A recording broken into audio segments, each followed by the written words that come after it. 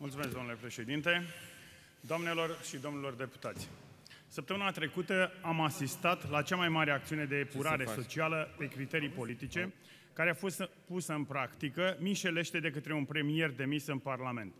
Fără niciun fel de scrupul, premierul demis Câțu a ras de la finanțare municipii, orașe și comune întregi, pentru că sunt conduse de aleși locali ai Partidului Social Democrat.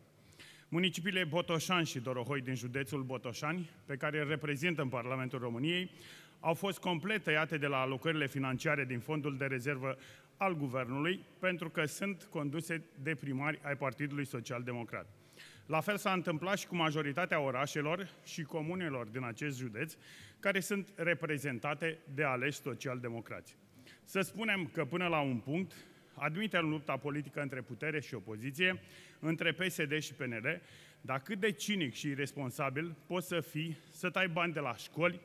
de la grădinițe, creșe, transportul elevilor, asistența persoanelor cu dizabilități sau subvenția pentru încălzirea locuințelor.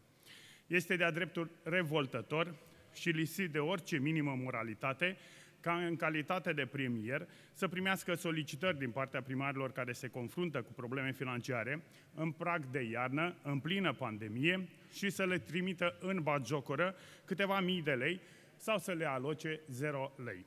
Cum e posibil ca premierul demis Florin Câțu să împartă România și județele țării în bune și rele, în alb și negru? Cum e posibil uh, alocarea a milioane de euro primarilor și președinților de consilii județene care l-au pus șef la PNL și să lase milioane de români din comunitățile locale conduse de social-democrați fără niciun sprijin din fondul de rezervă al guvernului. Din păcate, România, după ce că este o țară neguvernată, a devenit în mandatul de premier al lui Câțu o Românie scindată, o Românie schingiuită, în funcție de interesele liberalilor din echipa câștigătoare. Guvernul Câțu, pe lângă nedreptățile și ilegalitățile pe care le-a patronat prin împărțirea discreționară a banilor din fondul de rezervă a guvernului, a provocat cele patru crize majore în care se află țara noastră acum. Criza politică, prin scandalul cu USR și agățarea de scaunul de premier, deși a fost demis de Parlament, criza sanitară, generată de lipsa pregătirilor pentru valul 4 din cauza Congresului PNL, criza economică prin liberalizarea haotică a energiei,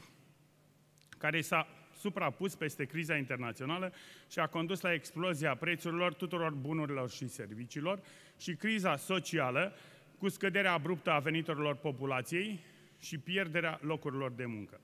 Sunt sigur că atât botoșenenii, cât și dorohoienii și toți locuitorii județelor, municipiilor, orașelor și comunelor din România, care au fost practic, practic pedepsiți de Câțu pentru că au în fruntea comunității aleși local de la PSD, nu vor uita și vor sancționa în cel mai dur mod posibil pe liberal și pe liderii lor. Vă mulțumesc, Dan Constantin Șlincu, deputat Botoșani.